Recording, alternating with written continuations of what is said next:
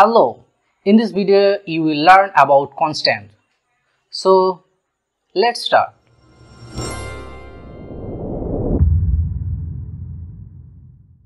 Let's understand what is constant. Constants that hold a value and cannot be changed are called constants. Constants are rarely used in Python. Constants helps to hold a value for the whole program. Now let's talk about how to assign value to constant in Python. Actually, in Python, constants are usually declared and assigned in a particular module. The module is a new file containing variables, functions, etc. which is imported to the main file. Inside the module, constants are written in all capital letters and underscores separating the words. Let's jump into the coding section. In this directory, you can see that we are in the code.example and in this particular directory, we will create a PyCharm project. For that, right click and create PyCharm project. So you can see that it's taking some time for preparing the workspaces. In the right side, you can see that our directory is code example.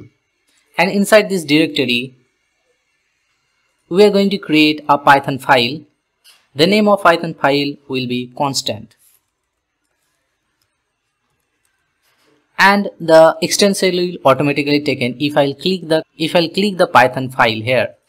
So double click Python file and you can see that inside our directory code example constant file created.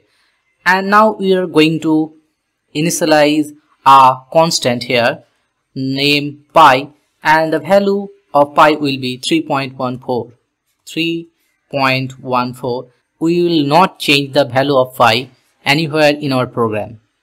Now you have to create one more file which is called the main file main python file and double click python file. And you can see that in our directory we have two different files constant and py. In the main.pi file we will import our constant file or constant module to access the py in our main just print and then write your module name and give a dot and automatically your pi will come and then you have to debug and run your code to see the output whether we were able to access the pi from our main file or not. So now click on run and click run and you can see that below we can access 3.14 constant. Likewise, you can also initialize another constant lambda and specify with 0.01 and go to the main and just print and inside constant dot and just run.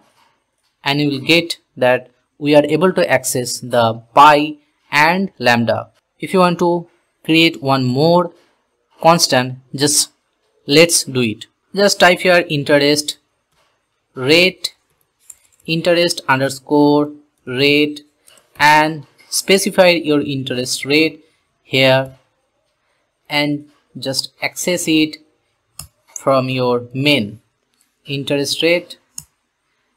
And again just run your program.